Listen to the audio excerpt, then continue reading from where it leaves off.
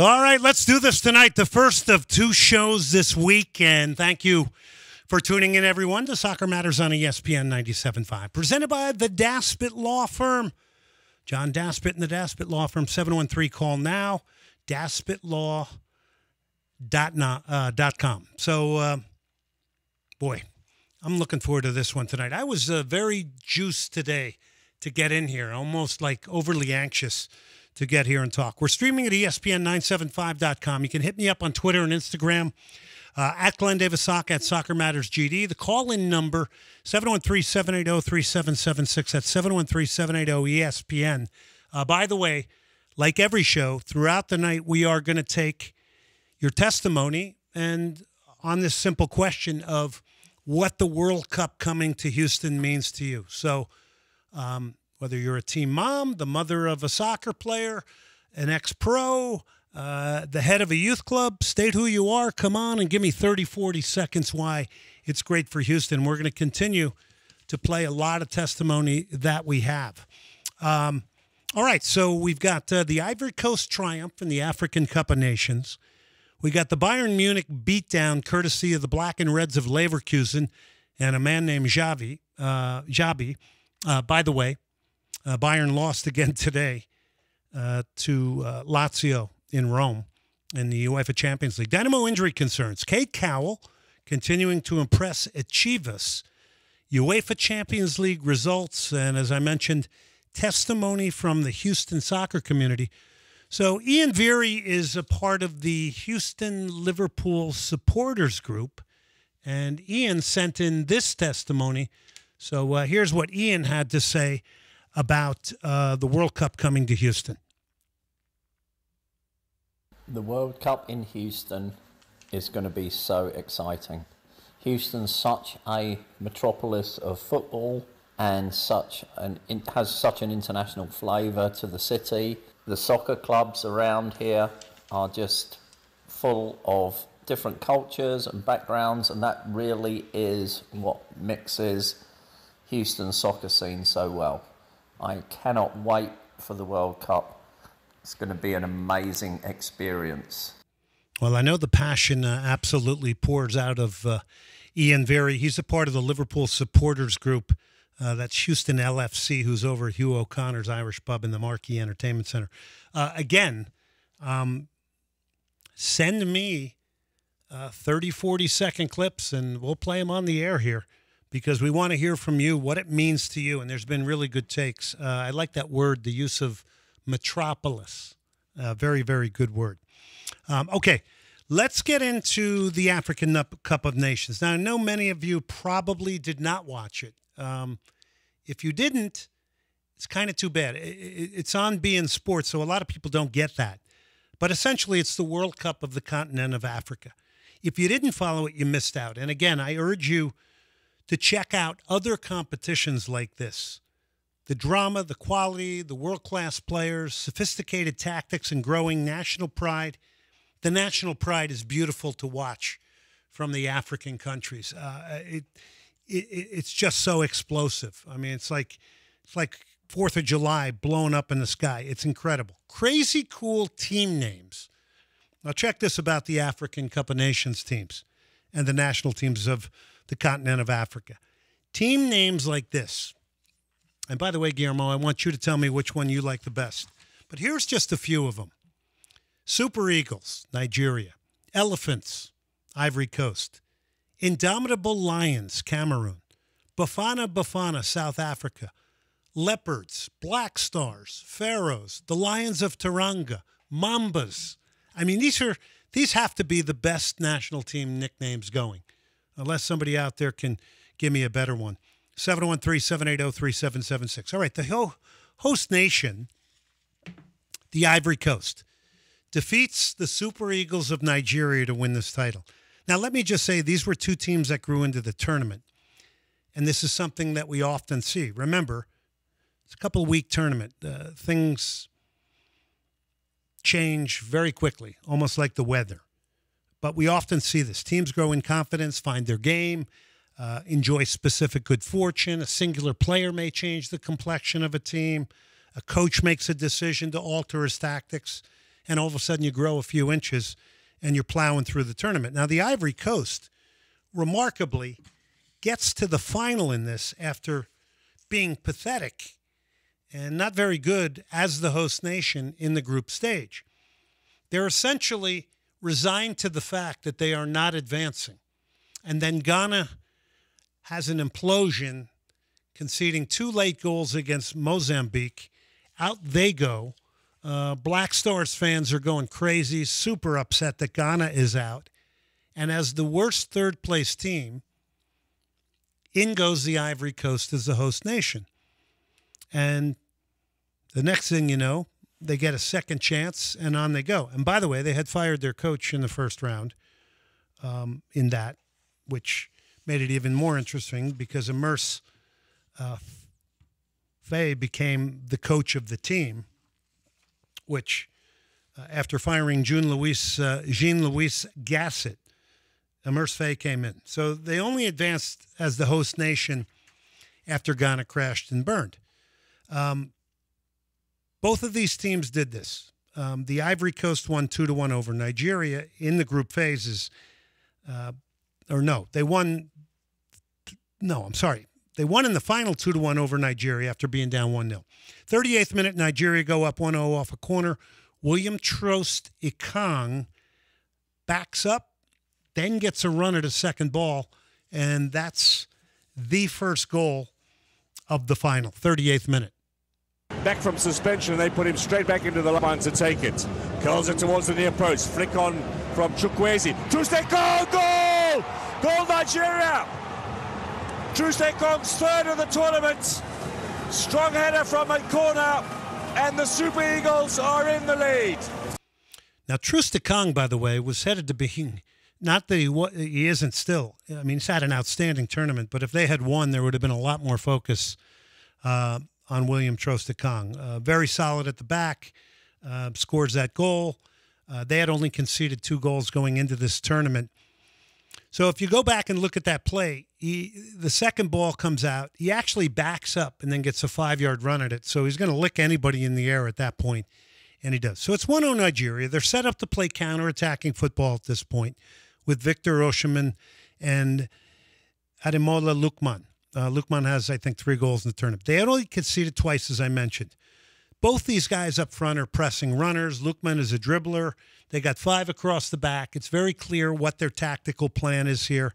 Um, and in a lot of ways, they are conceding the ball, obviously, to the Ivory Coast. But the Ivory Coast is playing the football and trying to win the game.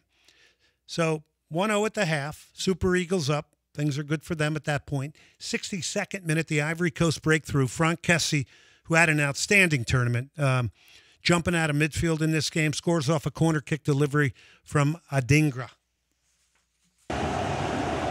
Adingra will take the corner. The crowd are on their feet. Here it comes. Nabali, back post chance, goal! Frank Kessie! Cote d'Ivoire are back in the game.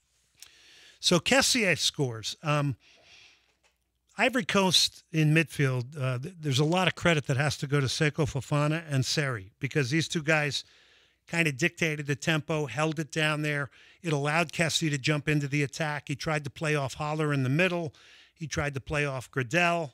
Um, but man, this guy, I mean, I don't know if he had three lungs or what, Frank Kessie, but he scores the equalizer. It's fitting he gets it.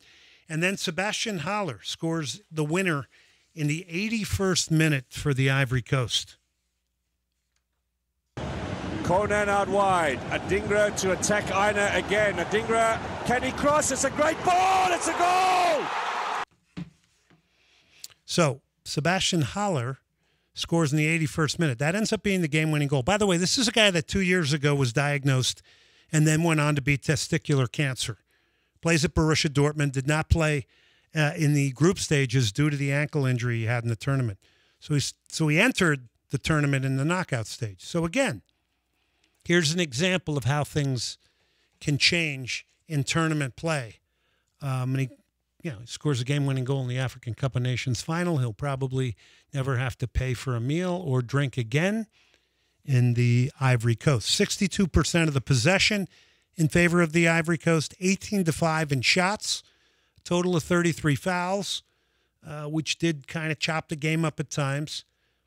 Check this out Yahia Fofana in goal did not make a save for the Ivory Coast. Pretty remarkable when Victor Osimhen and Ademola Lookman are up front. So Nigeria did not have a shot on goal, except for the header.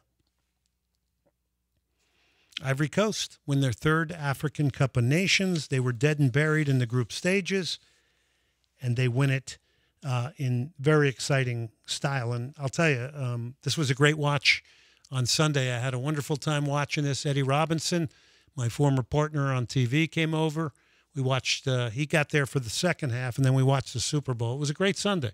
Super Bowl was great too.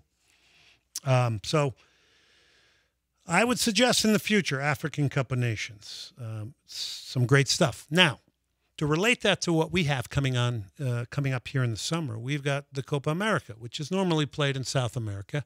It's for the continental sort of championship of South America, or the South American World Cup, if we want to compare it.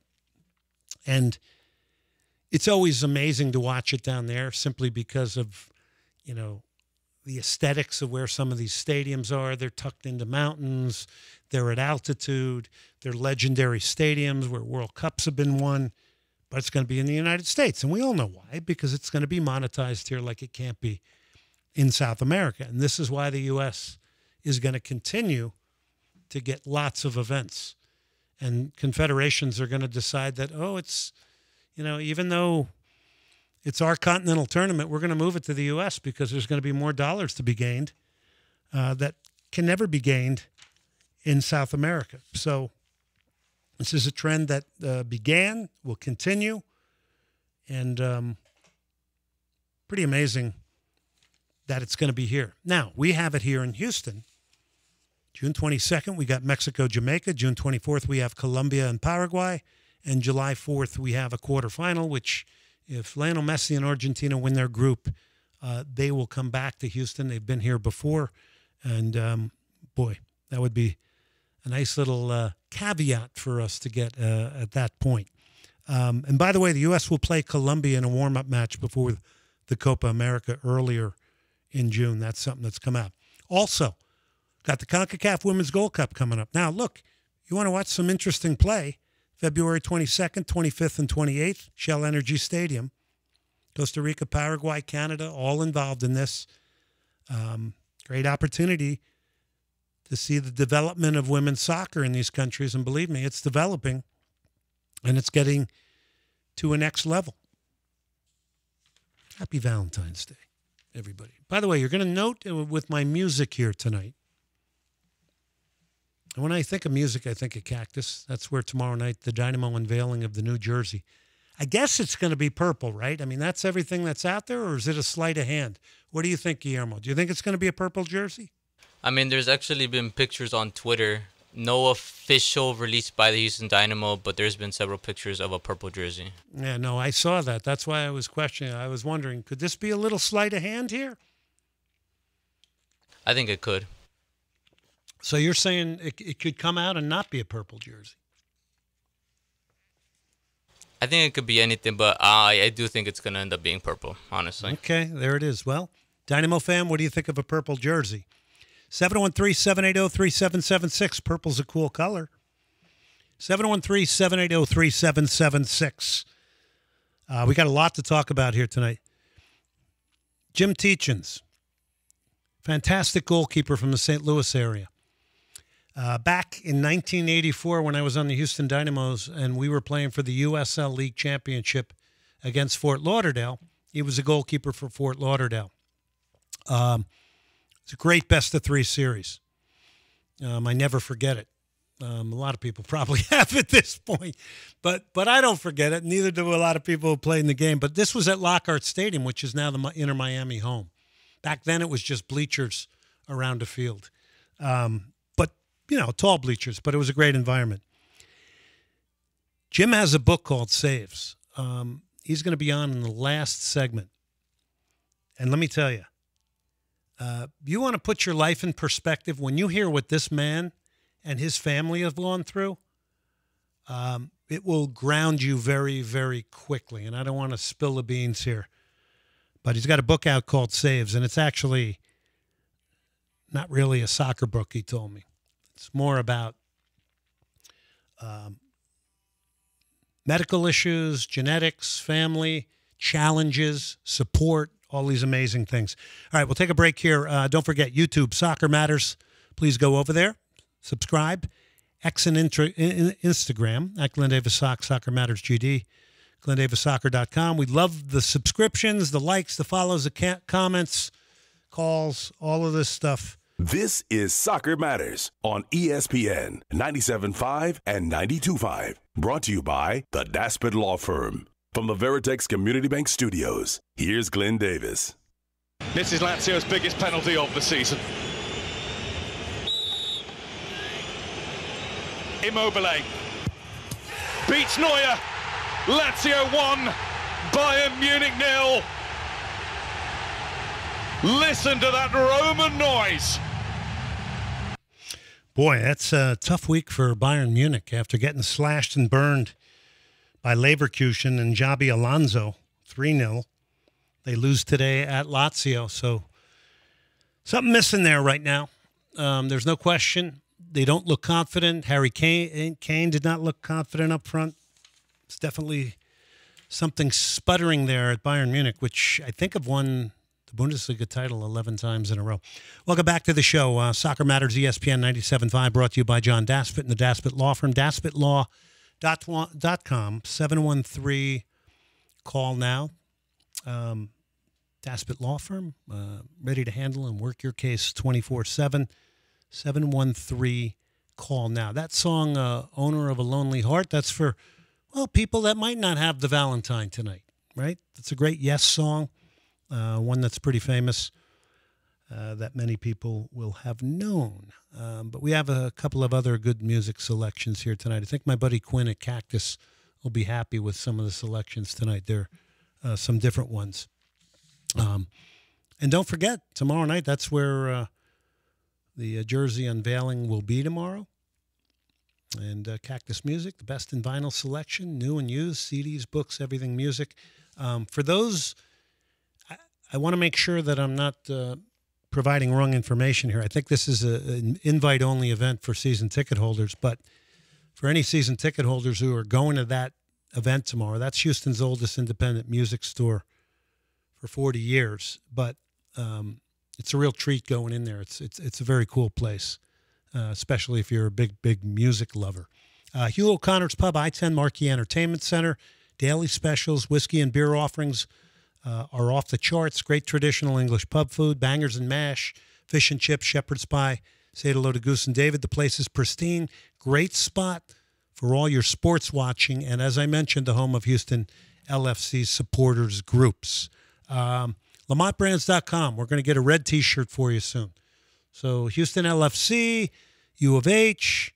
Uh, if you want a red version, Soccer Matters T-shirts and hats to benefit the 501c charity, the Snowdrop Foundation. Okay, so today we had uh, Lazio, uh, as we heard there, 1 0 over Bayern Munich. Uh, PSG, 2 to 1 over Real Sociedad today. Kylian Mbappe scoring the opener in the 58th. This would ultimately be the game winner. Keep it close. Delivered by Dembele, Marquinhos is in. Mine and Mbappe arrives at the back post. And he's done it again. And the reason why you cannot give this man that much space. So that uh, 2 0 PSG. You know, Guillermo, when everybody's contemplating now uh, Mbappe to Real Madrid, and apparently PSG is going to offer him 200 million to stay, and then you're thinking, well, he already got Vinicius Jr. there. Uh, what do you think of that? I mean, how's he going to fit in there? I mean, can you imagine Vinicius Jr. and Mbappe with that explosiveness, that dribbling ability, that pace, the variety of ways they can beat you?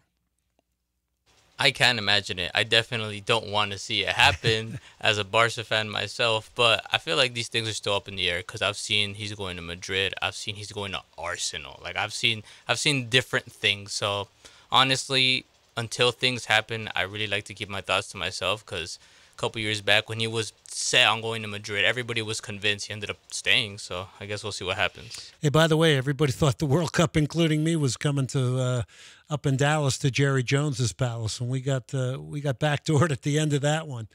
Uh, MetLife gets it in New Jersey. Of course, all my New Jersey friends are very, very happy about that. 713 780 3776. What's on your soccer mind tonight?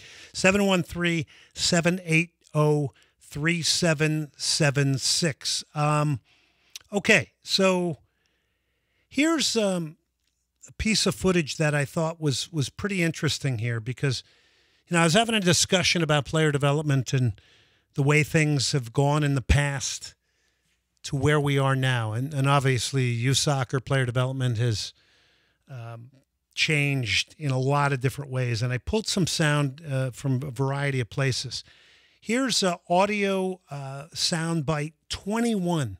This is on winning versus development in player development. Technically, tactically, physically, mentally. That's your main responsibility. Of course, you have a match on Saturday, but it, the match is more a tool to, yeah, like what we did, for example, with De Ligt. He played the European final last year against Manchester United. Good, uh, he played a good match. 17 year old central defender. But we said, okay, central defense is too easy for him in the youth. Put him on the midfield. Yeah, and then the coach says, yeah, but he's a central defender. He can prevent uh, the, the opponent from scoring. That's important for the result. Yeah, but it's important for him to improve his speed of action. These kind of decisions, you start to think about them when your responsibility changes from winning to development. Yeah, and that's your responsibility as a youth coach. Uh, it's not just to park some kid somewhere uh, because you're going to win a lot of soccer matches that nobody's ever going to remember. Now, in this case, he's talking about De Ligt, who was playing as a center back. So they move him into midfield. So you think of that just from a very basic standpoint. You're receiving a ball in midfield. You have pressure coming from the right, left, behind, in front of you. It's a completely different, dare I say it, ecosystem right? Whereas if you're a center back, the entire game is in front of you for large portions of matches. So at a young age, why wouldn't you, for the benefit of that player, put him in midfield?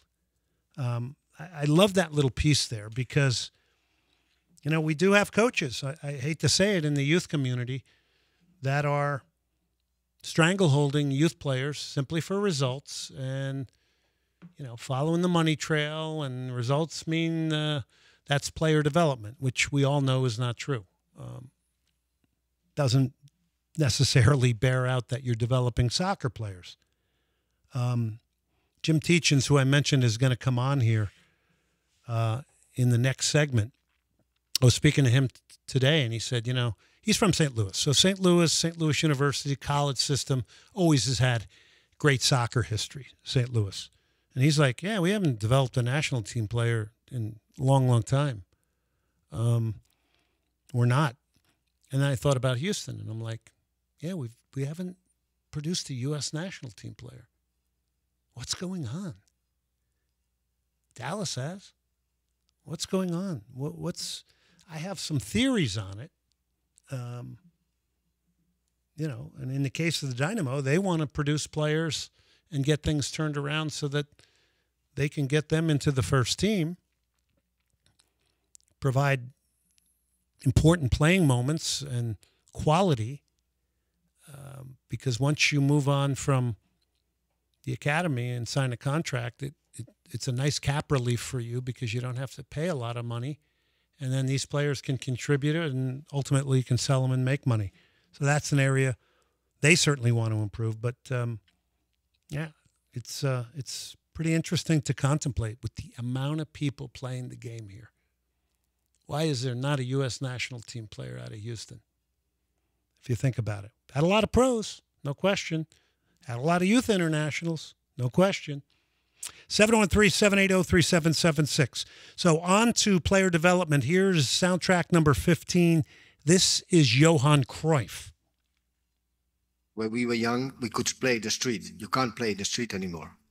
But a lot of times with small children, I was playing in the parking lot. So what does that mean? It means that the surface is uh, is bad. When you fall down, it hurts. So you try to learn not to fall down. Um, for small players, they quickly understand they've got to be technically much better than the other.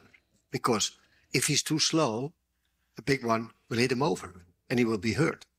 Of course, we had a lot of complaints of the mothers. She Said, well, my child fall down. Well, the game of football is not to fall down. I mean, you mustn't fall down. So, or you've got to organize it one way or the other. So I always think that um, that um, these sort of things help you to think. The problem today is a lot of coaches are thinking for them. I always think that put a problem there and think about it. Try to do something or try to. And as soon as you think or as soon as you do something you're not capable of or you, or you don't know, you're getting better. It's like you're right footed, you learn to shoot with your left foot. Of course, you make a mistake, but as soon as you control it, you learn a lot. If your right foot is good, you never be better.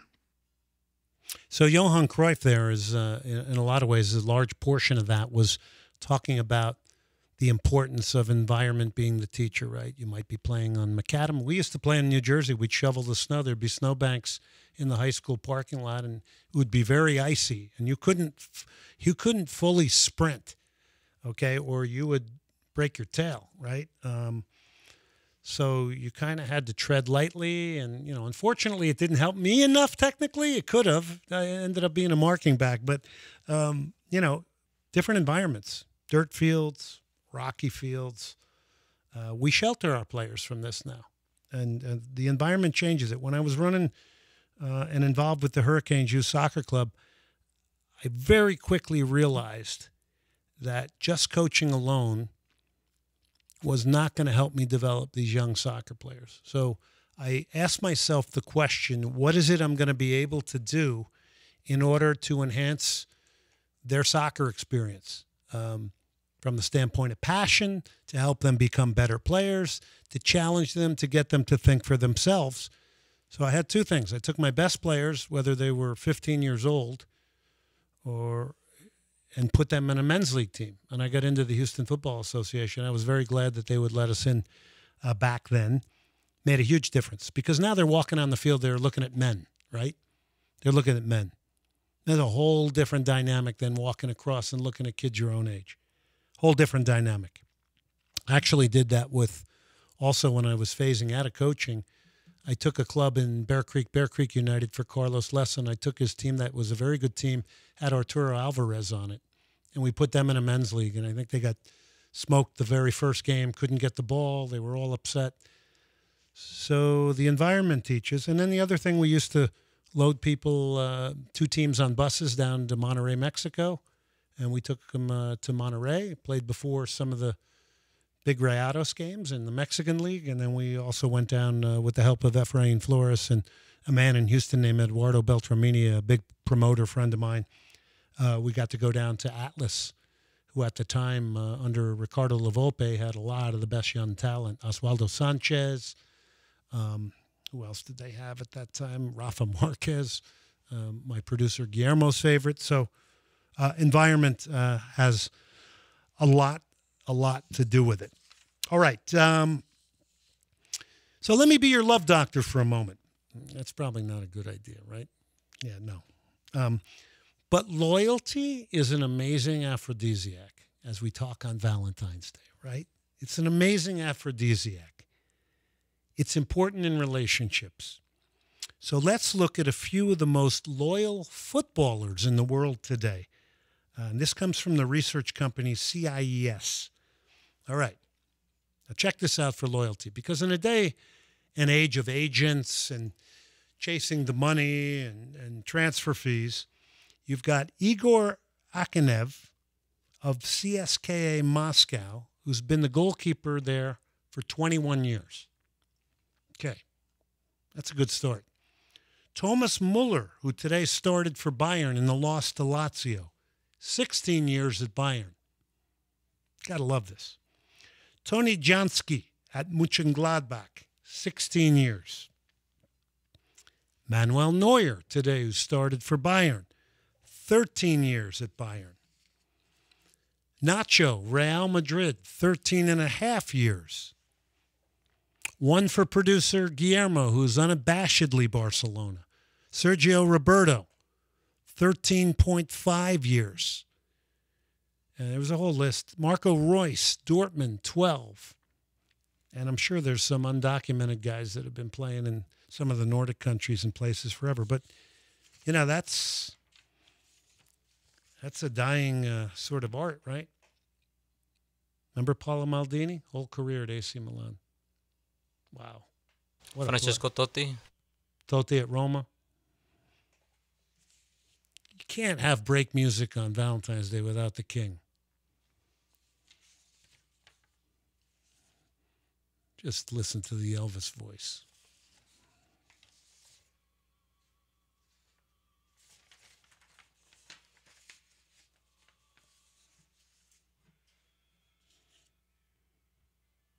I think your Valentine, Guillermo, is probably uh, the sport of soccer. Right? Houston Dynamo, Nelson Quinones, sadly out for the season. Hector Herrera, not sure what the injury update is on him. Preseason match at Orlando today. Dash hire a new coach, Fran Alonso, Celtic, back to back Scottish Cups and League Cups. His challenge will be the new league, the NWSL. Um, has quite a pedigree has worked under a number of different coaches at Southampton.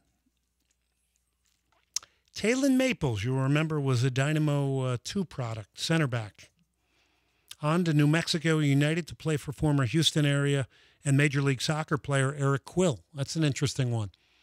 Probably didn't see the pathway to being a starter in MLS here with a with a lot of guys at the center back position, including Ethan Bartlow and Sviatchenko. So uh, New Mexico United in the USL. All right, uh, Jim Tietjens. Uh, you're not going to want to miss this. Credible resume as a soccer player, was one of the most talented U.S. goalkeepers. Uh, he has a new book called Saves. Um, this book encourages others and provides hope and the strength to keep going forward.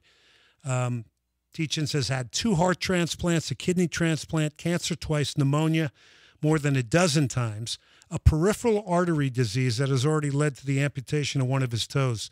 You are not going to believe his attitude and story. Jim Tietjens is up next, and it's all brought to you by John Daspit and the Daspit Law Firm. DaspitLaw.com. 713 call now. John and his firm, personal injury attorneys.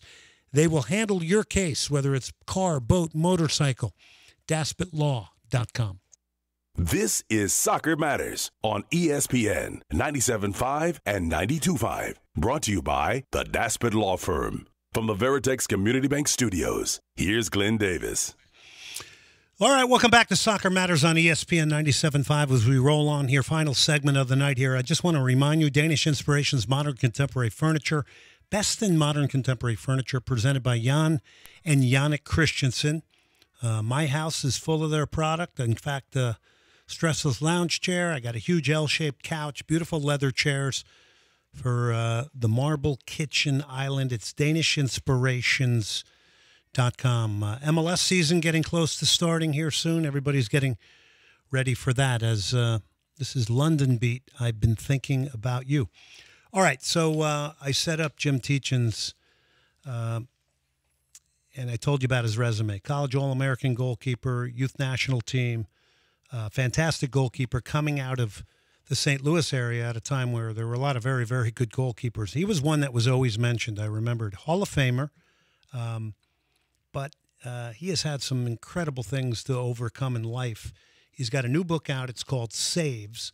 Um, it's uh, I think it's out on Amazon now. We'll tell we'll talk to Jim about that. But this is a book that encourages others um, and provides hope and strength. And as he said to me today when we were talking on the phone, um, it's not necessarily uh, a soccer book, but it is incredibly inspiring. Um, and uh, we bring Jim on right now. Jim, thanks for uh, coming on the show tonight. We appreciate it. Hey, Glenn, how you doing? It's good to talk to you again. Uh, first of all, I love your name, Soccer Matters. Uh, I think when you look back at our careers, I know soccer started mattering for me when I was six years old. And I'm guessing it's probably the same for you, and it's mattered ever since. So great name for the show. Yeah, no, it it it, it did. And uh, what I want to just remind people out there real quick here is so when I moved to Houston in '84, we had this team, the Houston Dynamos. It was the USL outdoor soccer. Uh, they were trying to put a league together. There was a team, the Fort Lauderdale Suns. So we got into the final. It was a great, grueling three game series. And the goalkeeper for the Fort Lauderdale Sun was a guy named Jim Tietjens. And I had remembered him when he was younger because there was talk around the country about him and David Brcic, another St. Louis guy who played for the Cosmos. And uh, well, we ultimately lost in a shootout down in Fort Lauderdale. And Jim, you know, Lockhart Stadium, which is now where Inter Miami plays, looked a little different back then. Oh my God! But I tell you what, it was good to see it. Um, I even texted my friend who was the trainer for the Sun, and I told him that any minute I was expecting him to run out of the field, take care of a player who was down.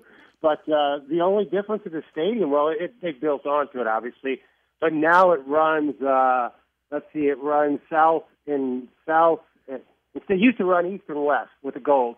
Now it runs north and south. So they did change it, but it was really cool to see that and then think of some of the players that really played on those on those grounds. And you mentioned one this afternoon, a, national team player for Scotland, Asa Hartford, and the list goes on and on. But it was it was kind of cool to think of the guys that actually graced those grounds. Yeah, it was a, it was a great time period, and it was a time period where the priority, as you mentioned, was the game. Uh, because nobody was getting rich back then. That's for sure. No. But uh, you were an outstanding goalkeeper. You guys won the title that day, and uh, we still think about it down here. Uh, me and some of my buddies and a few people come up every once in a while and remind about soccer in the '80s, which we played in a high school stadium as a home field. So, uh, right, right. I remember us losing that first game in a high school stadium, and I remember giving up a goal that I probably shouldn't have gave up. Kind of floated over my head and I was taking a good look at it, but I didn't move for. But uh, then we moved on to Fort Lauderdale, and you know that was tough series as well. And I actually think you guys won ahead in the game, one and nothing. And I think we tied it up. But yeah, I mean it was low scoring game, intense, some good players, and you know really good games to play and fun games to play. And hey, let me ask a quick question: um, Did you take a shootout? I wish you didn't ask me that, Jim. so I'm, I'm going to full disclosure. I had a fractured foot, so I could only okay. run straight ahead without being in pain. And of course, okay. you guys got Cubillas out there, so I was trying to make sure I didn't have to turn. So I tried uh-huh. to keep everything in front of me, but I took one of the later ones because it was fractured, and I shot wide. Got it. Um, you with, know what? Oh, that hurts my feelings. If it's the one I, if it's the one I think it is, you hit a sizzler. Did it, did it just barely go wide? It just was wide by about a yard, I think. I hit it hard. Okay. I, I do remember yeah, that. I, I remember someone hit one hard that just barely got no. wide, and I don't know if it was that one or not, but I did get a finger fingertip to it. But you mentioned Cubillas again. You know, I was kind of blessed in my career to play with some of those guys. He played only home games at that time, but that's right. You know, a lot of people didn't know him, but at one point in time – he was in the top three goal scorers in the World Cup. He had 10 goals for Peru, but just an unbelievable player. And, you know, what I've found, and I'm sure you found the same, is over the years, just a great guy. You know, great players, great guy. Yeah, oh, sure. un- unbelievable. And, you know, even though these guys in some cases were older, um, it was such a privilege to be on the field with them. The Asa Hartfords, him, um, Dave Watson, who was a captain of England, playing yeah. in front of you, man. Yeah. That must have been some experience, too.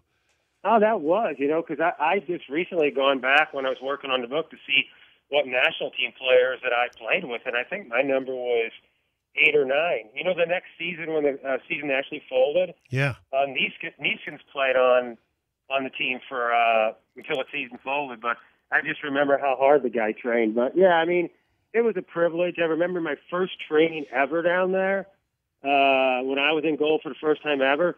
Gerd Mueller was my sweeper in front of me. Jeez. And here I am, this 20 year old kid, Gerd sweeping, and I'm yelling, kind of giving him instructions, things, but just it's just un- unbelievable how things come together.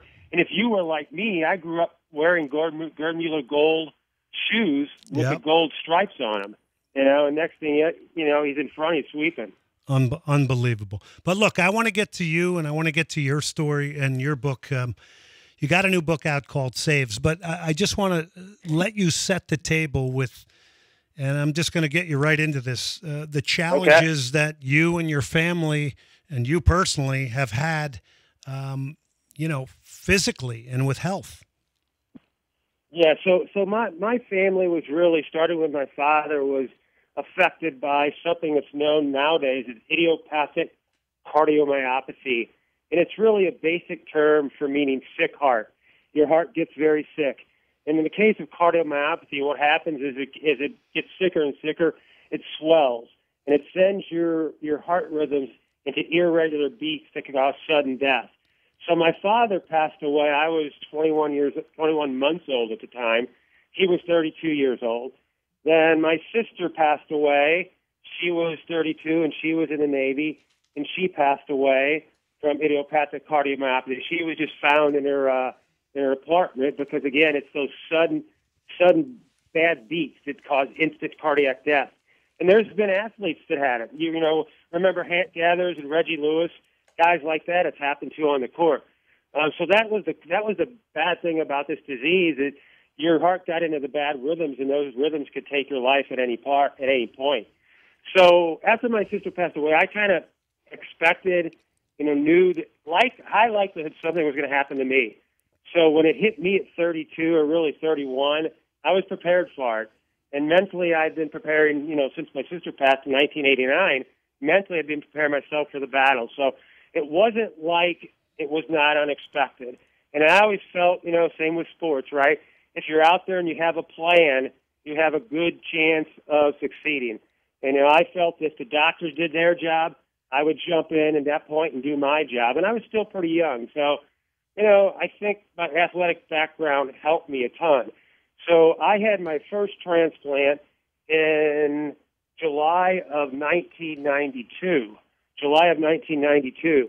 And that lasted until December, I'm sorry, that lasted until basically 2018. It was probably going downhill a little bit before that, but I needed a new heart transplant in, in August of two, uh, August, uh, what was it, 2000 and, uh, I'm, oh, 2018. I'm sorry, I'm drawing a blank.